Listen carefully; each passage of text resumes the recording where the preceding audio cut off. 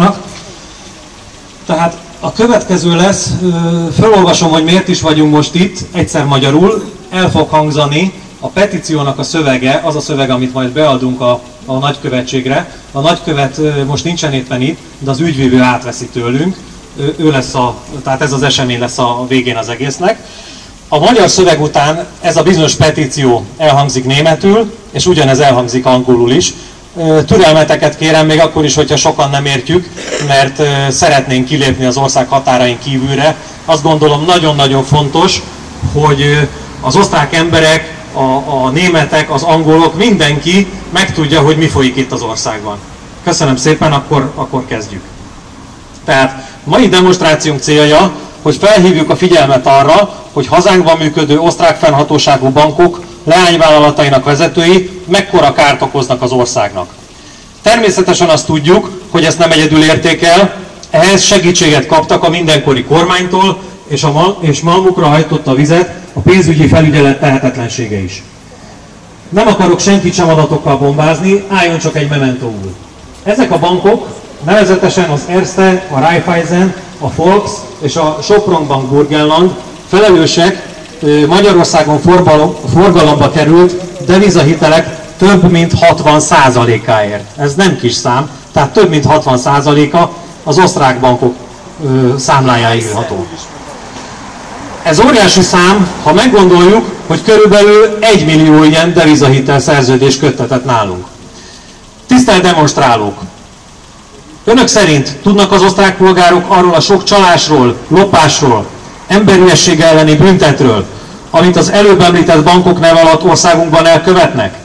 Ha eddig nem tudtak, most felvilágosítjuk őket.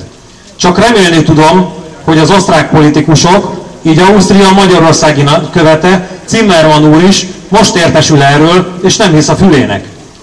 Nem kezdek most bele a bennünket ért jogtalanságok felsorolásába, de egy személyes példát azért elmondok, hogy külföldön is lássák, nem a levegőbe beszélünk. 2007-ben felvettünk 24,5 millió forint kölcsönt az Erste Bank Hungary-től. 6 év alatt törlesztettük vissza közel a felét, körülbelül 11,5 millió forintot. Most a bank szerint mégis jóval többel tartozunk, mint amennyit felvettünk, közel 40 millió forintot követelnek tőlünk. Amennyiben ezt a néhány mondatot valaki lefordítja németre vagy angolra, a hallgatóságnak biztos, hogy tátva marad a szája, csak szólok, ez nem fordítási hiba. Jól hallották, közel a fele kölcsön törlesztése után sokkal több a, tör, a, sokkal több a tőketartozás, mint felvételkor. Mindenki tudja, mi a neve ennek a pénzügyi terméknek nevezett aljasságnak. Na mi ez? Ez az uzsora kölcsön, úgy van, ez az uzsora kölcsön. Hát persze, hogy beszüntettük a fizetését. Láthatják, hogy ennek soha nincs vége, ez egyre több lesz akkor is, ha vértizadva dolgozunk és fizetünk. Akkor inkább kiállok ide önök elé, és mindenkinek azt javaslom, ne fizessék az uzsora kölcsönt. Rámegy az életük, a házasságuk, belebetegszenek, és még az unokájuk is fizetni fogja, ha most itt nem állunk ki magunkért.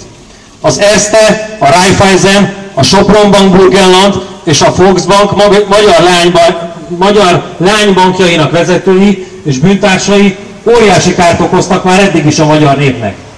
Magyarország az idők folyamán annyi jót tett a világgal, annyi találmányt és okos embert adott az emberiségnek, hogy most ezt érdemeljük.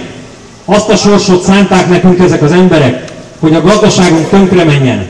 Polgáraink százezrei kül- külföldön másokat szolgáljanak? Hát nem. Tiltakozunk azzal, hogy nem fizetjük az uzsora kölcsönöket. Bolykottáljuk a bankok mindenfajta szolgáltatását. Helyettük legyenek inkább magyar tulajdonú pénzintézetek, korrekt felügyelőbizottsággal, akik Magyarország felemelkedését tartják szem előtt.